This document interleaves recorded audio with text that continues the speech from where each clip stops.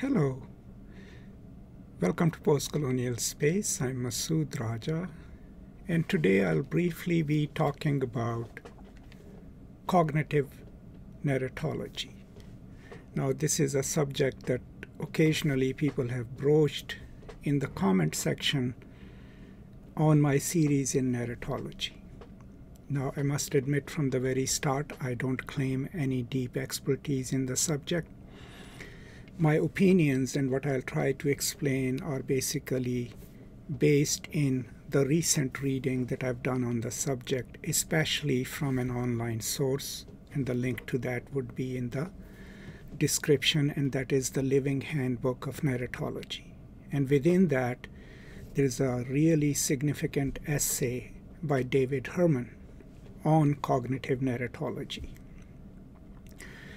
And I'm drawing basically on David Herman's work to explain my understanding of cognitive narratology. Now, David Herman is professor of engaged humanities in the Department of English at Durham University, United Kingdom. And he has some significant essays as well as books on the topic and is probably considered, you know, one of the most well known contemporary scholars of cognitive narratology. So please keep these things in mind, and I hope that my reading of his online essay, which is available, and a little bit of explanation of it would be a good starting point for you to read further into cognitive narratology and to understand it better.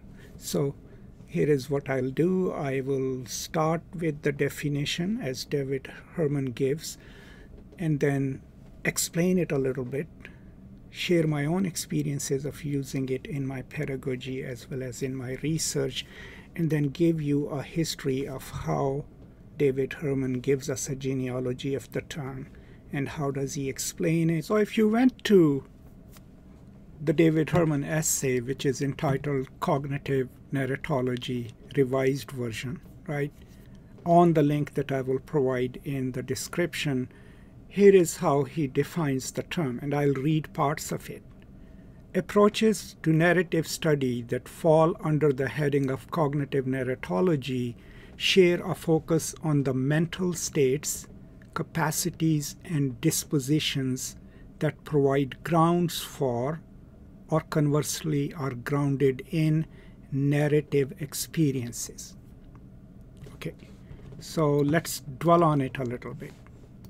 So, any approach that employs cognitive narratology, right, the focus is on the mind, its capacities, its dispositions, right?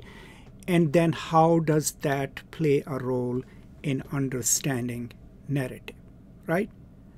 So, based on that, then he gives us a few points to keep in mind when we think of cognitive narratology. One, how do these stories across media interlock with interpreters' mental states and processes, thus giving rise to a narrative experience or experiences?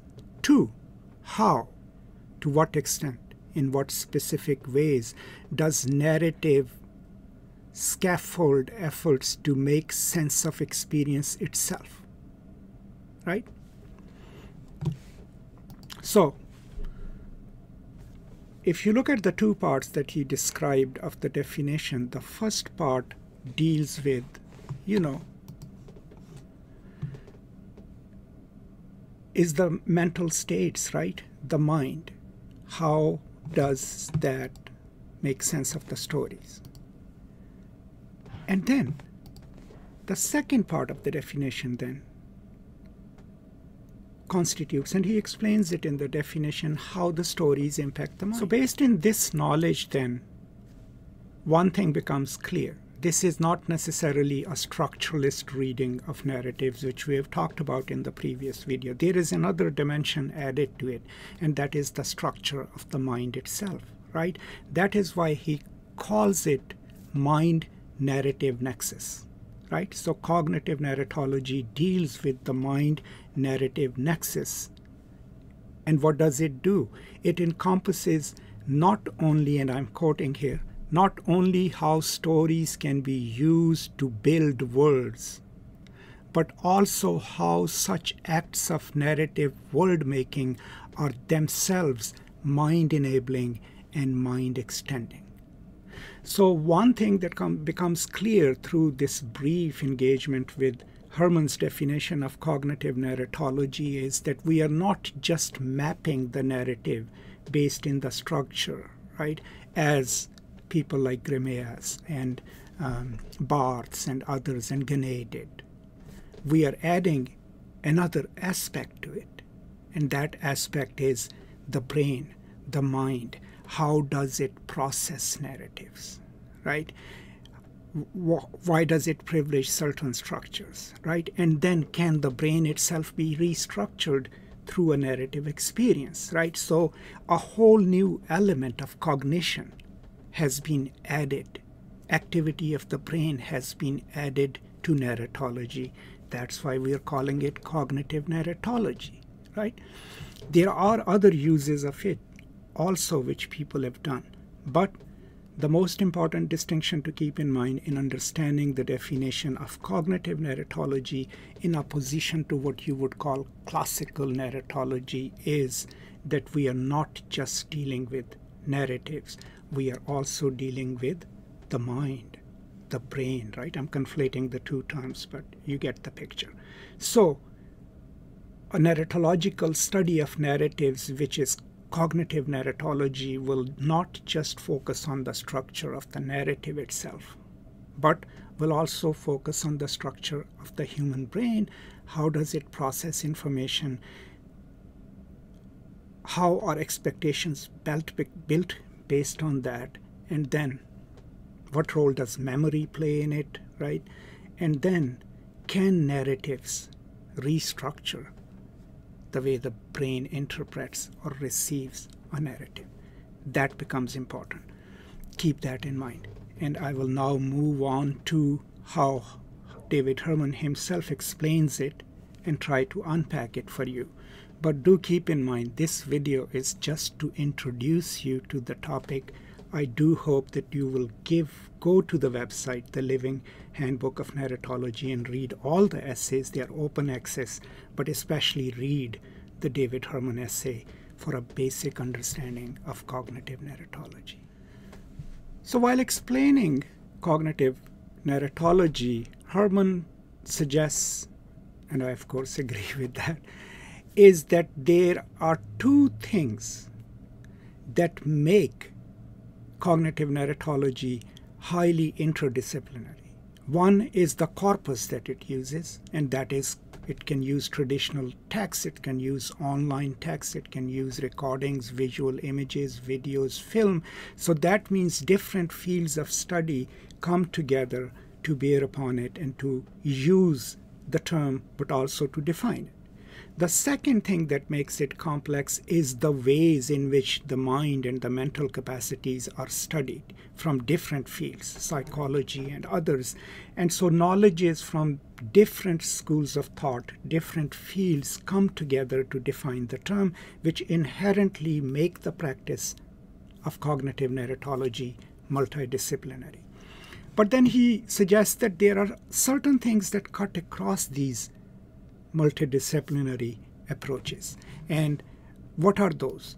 Number one, research on narrative as a target of interpretation. So, a number of key concerns cut across the various approaches to the mind narrative nexus. And they can be linked to broad lines of inquiry. And what are those? One, research on narrative as a target of interpretation. Two, scholarships on stories as resources for sense making, right? And three, how do they use medium specific cues to build on the basis of the discourse and interpretation of, of what happened when or in what order, right? So let's dwell on, on it a little bit, right? So one mode of research, one thing to focus on could be, um, you know, how are narratives interpreted? Now, if you're going to bring study of the mind and brain into it, you're not necessarily focused on individuals or you're not necessarily focused on the narrative itself, right? What you're focused on is okay, this is how the brain works, this is how the brain processes information, and based on that, this is what we can bring to bear upon understanding and interpretation of a certain text. So that could be one area of study, right? The second is scholarship on stories as a resource for sense making. Okay, so if narratives contain represented reality, experiences of other people, then one aspect of that research could be how do narratives inform our idea of understanding the world, our idea of understanding each other. Now, if you've watched my videos on Mark Bracher's work, right, on radical pedagogy, this aspect of narrative is hugely important in that kind of radical pedagogy because you're already presupposing that the mind has certain schemas. Those schemas predispose us to view the world a certain way.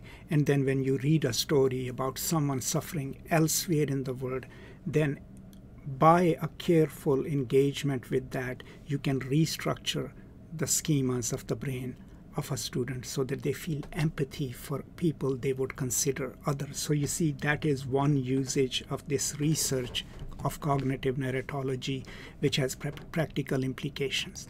And the third part, how do they use medium specific cues to build on the basis of the discourse and interpretation of what happened when or in what order? A broader temporal and spatial environment for those events so, an important thing to note in this explanation is that there are things emerging in our analysis, in our talking about narrative, which would have previously not emerged in structural narratology. If you have watched my videos on the basics of narratology, we would have stayed with the structure of the narrative itself. But since we have now built a narrative mind nexus, what we are also trying to map, understand, is how does the mind work? How does it make sense of the stories, right? How does the brain function and how's how does it process narratives? And because of that, then cognitive, cognitive narratology enables us to not just map the narratives, but also the cognition function of the brain itself. And that brings in the research on the brain, on human mind, right? I know I'm conflating the two terms, I apologize. But scientific knowledge of the brain functions of cognition, and then does cognition itself have a narrative structure? If it does, is it socially produced? Right? When we read a story, our expectations of it are not just now expectations of the readers. It's also our mind working through its own schemas, right? Trying to process a story. So, what has been made available to us then in cognitive narratology is that we are bringing two bodies of knowledge together the understanding of narratives, how do they work, and how does the mind make sense of them, but also, more importantly, can narratives reconstruct or reconfigure our brain, right? Not its chemistry, but how it behaves when it reads a certain kind of story. And this insight is highly crucial into the kind of radical pedagogy that people like Mark Bracher and even Martha Nussbaum talk about, because what they are talking about is how to change the emotional state of people and their ways of thinking so that they can develop empathy for their global others. So, narrative, cognitive narratology can also help us with that. So, coming over to the brief history of the term itself, David Herman gives us, uh, you know, a step by step history of who theorized it and how.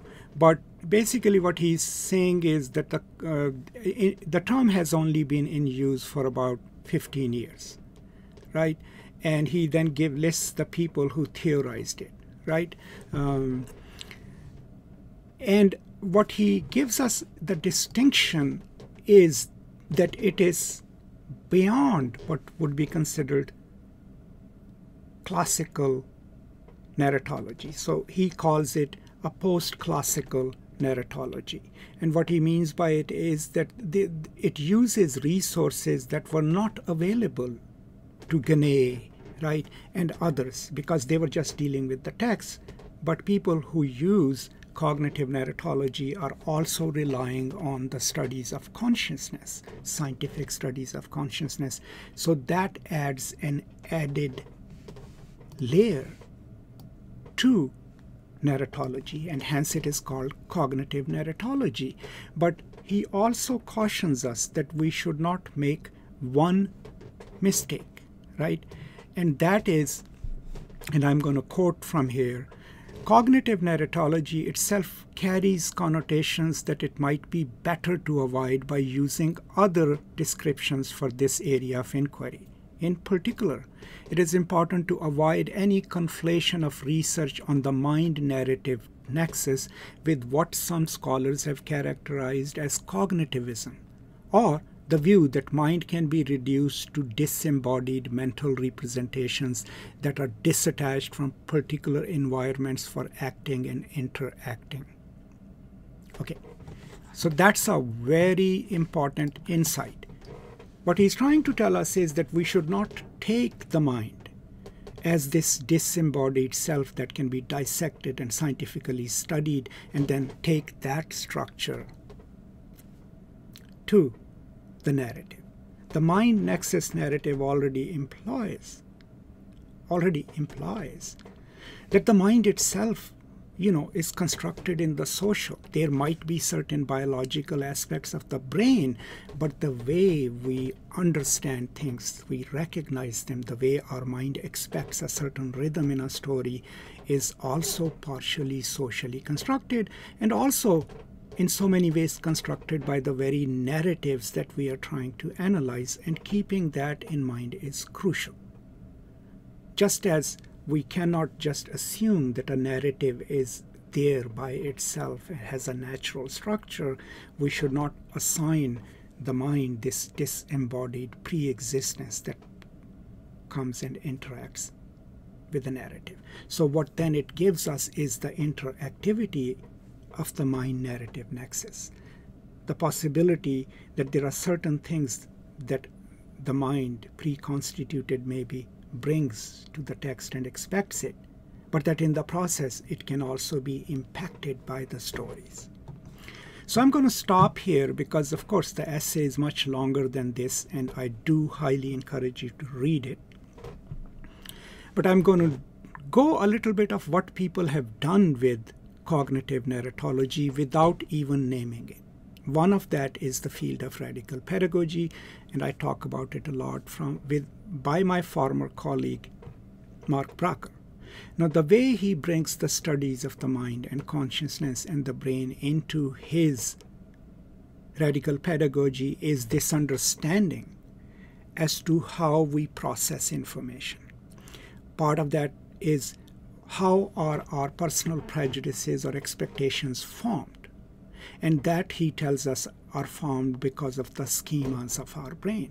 Those schemas are narrative based, right?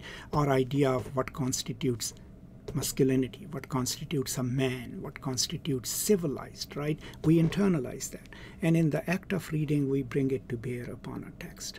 So his idea is that we cannot change people's minds on the surface level alone through narrative unless we mobilize the narrative so that their schemas are expanded and in certain cases overwritten. And unless we do that through radical pedagogy, we cannot create empathy.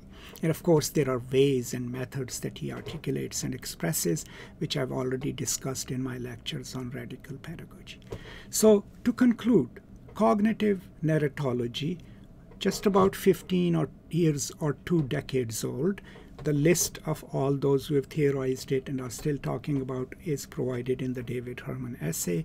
But the most important thing to keep in mind is that it deals with the mind narrative or the narrative mind nexus. The structures of two things are becoming prominent in cognitive narratology, the structure of the mind, how is it structured, how can it be restructured, and the structure of the narrative. How do they interact? How do we read them and why? Right? How do we make sense of them from the cognition point of view, but also from the narrative structure point of view, when those two operative terms are at play and we are using the knowledge from different fields and using different kinds of texts to map that activity of the mind, but also of the narrative, we are then doing a more complex form of narratology, which is called cognitive narratology. That's all I have to say. Now, with a cautionary note that this is not the last word on cognitive narratology. It's a complex field of study, and I do highly recommend that you read the text on it. At least read the David Herman essay, and the link to it would be in the description. That's all I have to say. Thank you so much for your time. Stay safe, take care of each other, and I will now see you next time. Until then, peace and love.